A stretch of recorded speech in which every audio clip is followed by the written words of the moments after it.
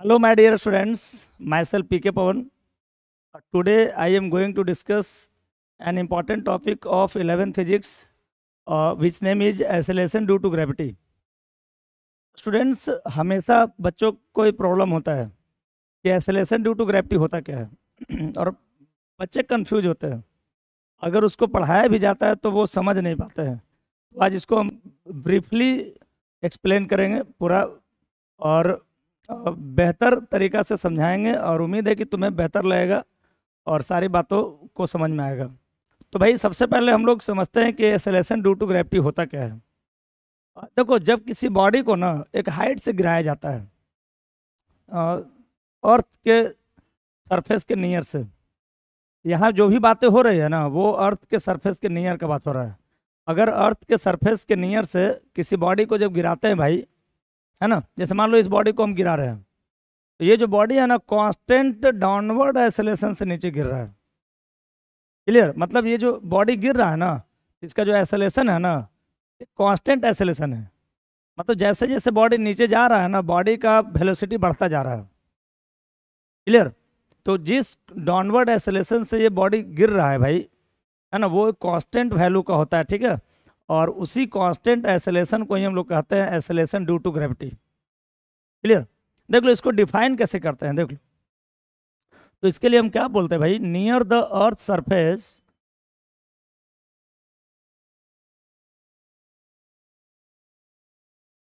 all the bodies irrespective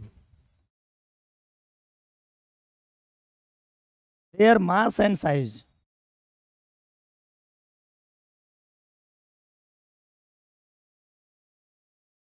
fall with constant downward acceleration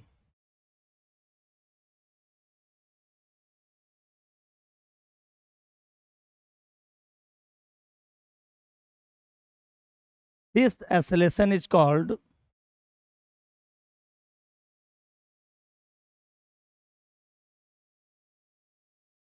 acceleration due to gravity.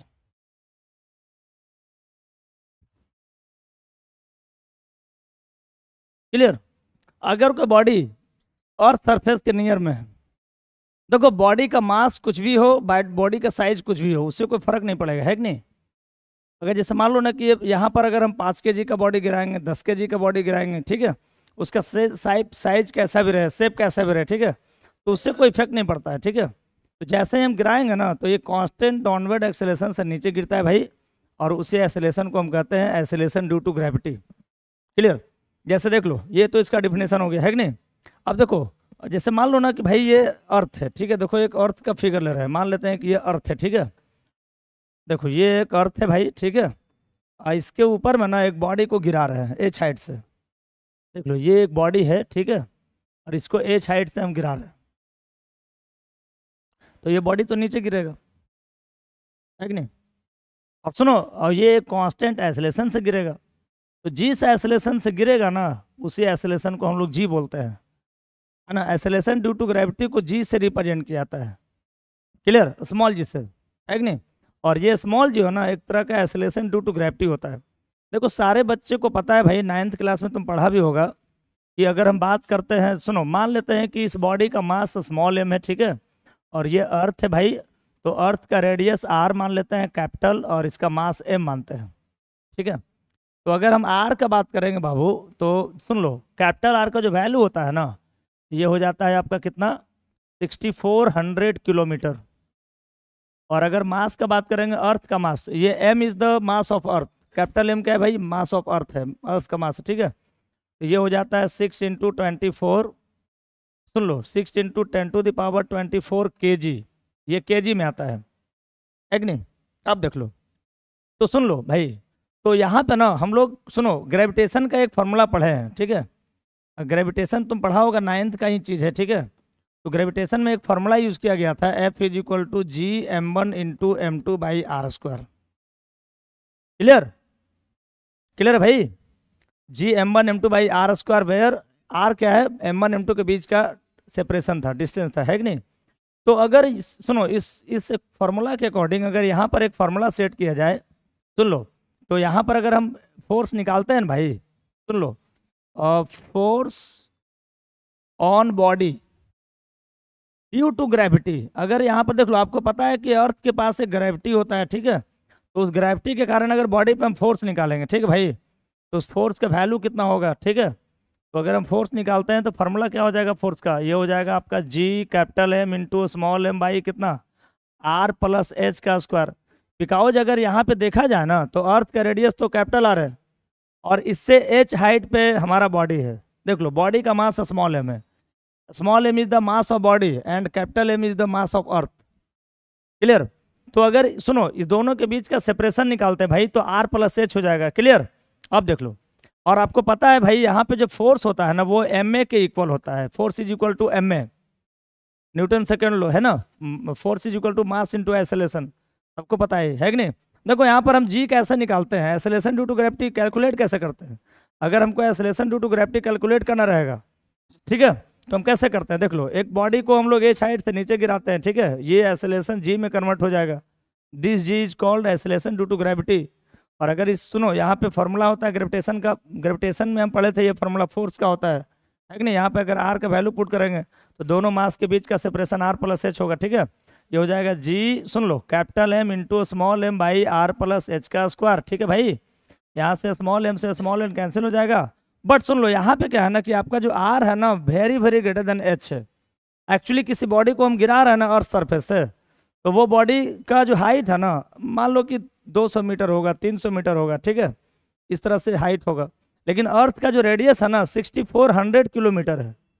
तो इस radius के respect में जो आपका हाइट होगा ना, देखो ये जो हम बात कर रहे हैं बॉडी का तो अर्थ सरफेस के नियर का बॉडी का बात कर रहे हैं।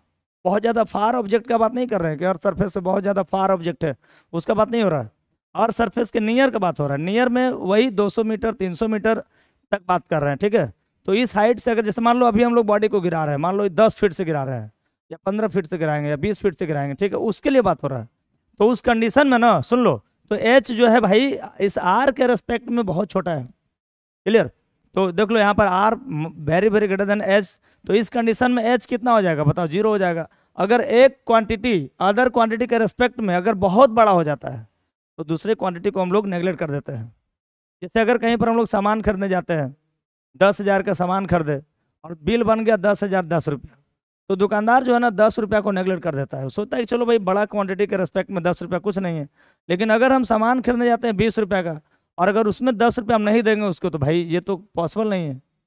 तो हमेशा नेगलेक्ट कब होता है? जब क्वांटिटी एक बड़ा है, दूसरा बहुत छोटा है। क्लियर तो इस कंडीशन में देख लो भाई तो अगर ए निकालेंगे ना तो ये हो जाएगा कितना? जी एम बाई ध्यान देना। सुनो, ये स्क्वायर में है भाई तो जी एम बाई कितना हो जाएगा? आर प्लस ज़ीरो का स्क्वायर क्लियर अब ज़ीरो क्यों किए, बताओ। क्यों ज़ीरो किए? क्योंकि हाइट जो है ना, इस रेडियस के रेस्पेक्ट में बहुत ज़्यादा बड़ा हाइट नहीं है। उस रेडियस के रेस्पेक्ट में हाइट बहुत कम है। रेडियस बहुत बड़ा है। सुन लो, किलोमीटर में है भाई 6400 किलोमीटर। और आपका जो हाइट है, बहुत छोटा है। मीटर में होगा स्मॉल डिस्टेंस होगा, ठीक है? स्मॉल सेपरेशन होगा, ठीक है भाई? स्मॉल हाइट होगा। तो उस कंडीशन में नेगलेक्ट कर देते हैं तो हमारा ए का वैल्यू जो है ना G M by R square आ गया, ठीक है? अब यहीं पर जो सुन लो, अब यहाँ पे जो जी का वैल्यू होता है कितना, देख लो। यहाँ पर अगर जी ए निकालोगे ना तो ये हो जाएगा जो जी का वैल्यू कितना होता है six point six seven into ten power minus eleven ठीक है? इंटू मास कितना होता है भाई? अर्थ का मास अभी हमने बताया, देख लो सिक्स इंटू कितना? Ten to the power twenty four होगा भाई। और बाई में देख लो, बाई में कितना? आर आर का वैल्यू कितना होता है? Sixty four hundred kilometre. उस किलोमीटर को चेंज करेंगे हम लोग मीटर में तो सुनो, ten to the power three का स्क्वायर हो जाएगा क्या? अरे होगा इतना भाई। और जब इसी को तुम सॉल्व करोगे ना तो ए इज़ इक्वल टू आ जाएगा कितना? सुन लो, इसको जब कैलकुलेट करोगे तुम लोग तो आफ्टर कैलकुलेशन सुन लो, ये जो हमारा एसोलेशन है ना, आपको पता है कि एसोलेशन का यूनिट होता है मीटर पर सेकेंड स्क्वायर है कि नहीं? तो आफ्टर कैलकुलेशन ये जो वैल्यू है ना अप्रॉक्स 9.8 मीटर पर सेकेंड आ जाएगा, ठीक है भाई? तो दिस सुनो, और this acceleration is called acceleration due to gravity और यही जो है ना जी के इक्वल हो जाएगा 9.8 मीटर पर सेकेंड स्क्वायर तो भाई नियर द और सरफेस जो जी का वैल्यू होता है ना 9.8 मीटर पर सेकेंड स्क्वायर होता है clear near the earth surface अगर तुम क्वेश्चन बनाओगे ना तो अगर कोई बॉडी अर्थ सरफेस के नियर में है, मान लो 10 मीटर पे 20 मीटर पे 30 मीटर पे, या पाँच मीटर पे, ठीक है? तो इस कंडीशन में जो जी का वैल्यू लेना ना nine point eight metre per second square ठीक है भाई? क्लियर और कैपिटल जी का वैल्यू इतना होता है, देख लो, ये कैपिटल जी का वैल्यू है। This is the difference between capital G and small G बहुत बहुत बार बच्चों को कन्फ्यूज़न होता है कि बड़ा जी और छोटा जी क्या होता है। भाई कैपिटल जी एक अलग क्वांटिटी है। कैपिटल जी को हम ग्रेविटेशनल कांस्टेंट बोलते हैं और स्मॉल जी को एसलेशन ड्यू टू ग्रेविटी बोलते हैं, ठीक है? तो this is the acceleration due to gravity and सुन लो, अगर डायरेक्शन का बात करेंगे देखो लास्ट है इस, देखो ये इसका लास्ट है ये ठीक है डायरेक्शन का अगर बात करेंगे ना तो वर्टिकली डाउनवर्ड होगा। क्या होगा भाई? वर्टिकली डाउनवर्ड इसका डायरेक्शन क्या होता है बाबू? वर्टिकली डाउनवर्ड सुन लो।